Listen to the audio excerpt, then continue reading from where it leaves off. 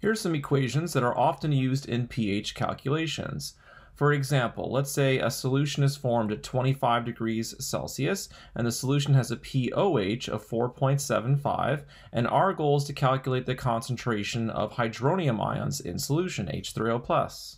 One way to start this problem is to use this equation, pH plus pOH is equal to 14.00. And we have the pOH equal to 4.75, so we can plug that into our equation. That gives us pH plus 4.75 is equal to 14.00. And solving for the pH, we get that the pH is equal to 9.25. So we have the pH, and our goal is to solve for the concentration of hydronium ions. And pH is equal to the negative log of the concentration of hydronium ions. So we can plug our pH right into this equation. So that would give us the pH, which is 9.25, is equal to the negative log of the concentration of hydronium ions. Next, we need to solve for the concentration of hydronium ions. So we could move the negative sign over to the left side, which gives us negative 9.25 is equal to the log of the concentration of hydronium ions. And to get rid of that log, we can take 10 to both sides.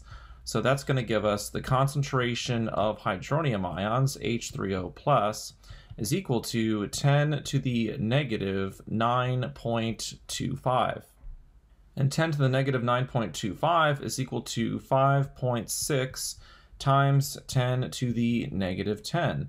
So the concentration of hydronium ions in our solution at 25 degrees Celsius is equal to 5.6 times 10 to the negative 10th molar. Also notice that because we had two decimal places for our pH, we have the concentration of hydronium ions to two significant figures. There's another way to do the same problem. Since we have the pOH, we could use the pOH equation to find the concentration of hydroxide ions in solution. So we would just need to plug in the pOH into this equation, which gives us 4.75, eh, which is the pOH, is equal to the negative log of the concentration of hydroxide ions. Next, we can move the negative sign over to the left side, so negative 4.75 is equal to the log of the concentration of hydroxide ions.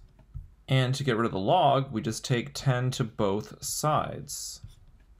10 to the negative 4.75 is equal to 1.8 times 10 to the negative fifth. So the concentration of hydroxide ions is equal to 1.8 times 10 to the negative fifth molar.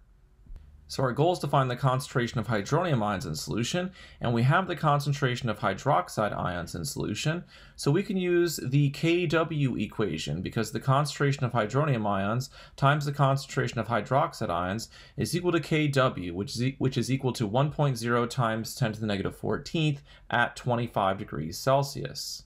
So we can plug in the concentration of hydroxide ions into our equation.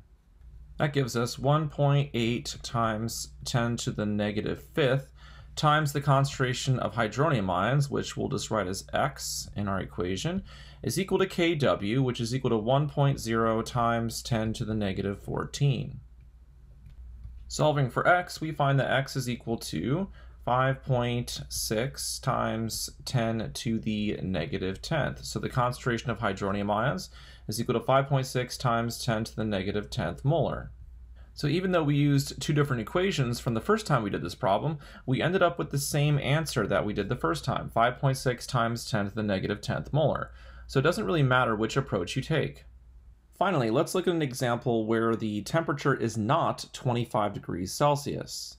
Let's say we have a sample of pure water at 50 degrees Celsius and our goal is to calculate the pH. Pure water is a neutral substance, which means the concentration of hydronium ions, H3O+, is equal to the concentration of hydroxide ions, OH-.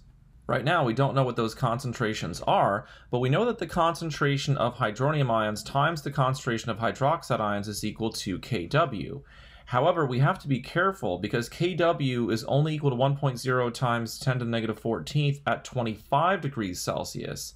And at 50 degrees Celsius, Kw is equal to 5.5 times 10 to the negative 14th. So let's go ahead and write Kw is equal to 5.5 times 10 to the negative 14th. And if we make the concentration of hydronium ions X, then the concentration of hydroxide ions would also have to be X since the two are equal. So we would have X times X is equal to 5.5 times 10 to the negative 14th. So that gives us x squared is equal to 5.5 times 10 to the negative 14th. And if we take the square root of both sides, we find that x is equal to 2.3 times 10 to the negative 7th. And since x is equal to the concentration of hydronium ions in solution, the concentration of hydronium ions is 2.3 times 10 to the negative 7th molar. Now that we know the concentration of hydronium ions in solution, we can use our pH equation to find the pH of water at 50 degrees Celsius. So we plug our concentration of hydronium ions into our equation, and we take the negative log of that, and we get that the pH is equal to 6.64. Notice with two significant figures for the concentration, we get two decimal places for our answer. If we had used Kw is equal to 1.0 times 10 to the negative 14th, we would have gotten a pH of 7.00. But that's only true at 25 degrees Celsius since Kw is temperature dependent, if the temperature is something other than 25 degrees Celsius, the pH of water will not be 7. So in this case, we calculated it to be 6.64. The pH of pure water is 6.64 at 50 degrees Celsius. However, water is still a neutral substance. The concentration of hydronium ions is equal to the concentration of hydroxide ions.